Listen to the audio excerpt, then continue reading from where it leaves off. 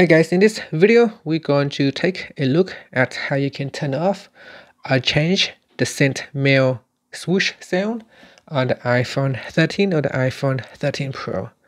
First, let's go back to your home screen by swiping up at the bottom of the screen. On the home screen, tap on settings. And in settings, you want to go down and tap on sounds and haptics. Now in here, go down and tap on sent mail and by default it is set to classic swoosh. And you can see it's uh, this is the default sound. Now you can go down here and change the sound.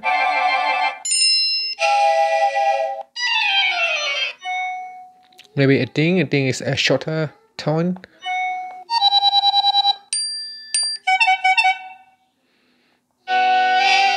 So it's quite a, a few options for you to choose in here so select one of the options. And that's it. So that's how you can uh, change the sound. Or if you want to turn off you can go up here and choose none. And that will basically turn off the sent mail sound. And that's it.